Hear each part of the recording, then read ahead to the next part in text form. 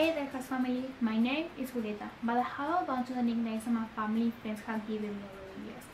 Let me introduce myself and tell you why I want to be an exotic. I'm 24 years old. I'm from Córdoba, which is the second largest city of Argentina. Blue skies ahead, yes, I'm on my way, and there's nowhere else that I'd rather be. I live with my parents and my siblings. My mom, Matilda, who's teacher, and dad Luis, who was a school transport driver. I think it's there where I got my patience and pleasure for children. Then there is a big sister of two brothers.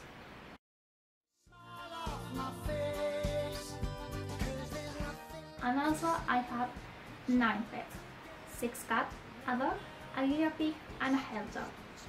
The last two years I was working in a tourism company, and my job is related with my degree as manager of tourism and transportation companies. In my free time, I love reading a lot and be a book reader. Also, I'm currently studying musical theater and taking jazz lessons.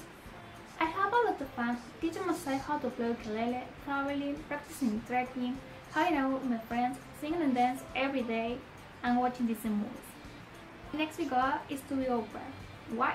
Well, mainly because I really enjoy spending time with children and learn from them as much as they allow me to teach them.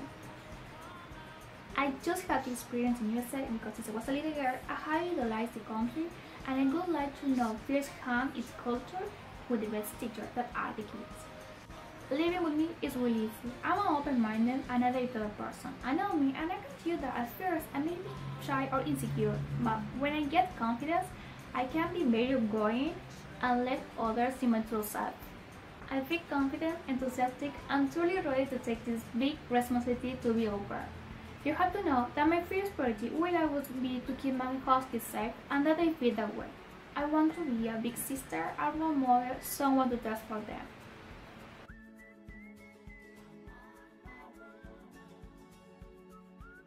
Dear host family, I'm looking forward to hear from you soon. Bye bye.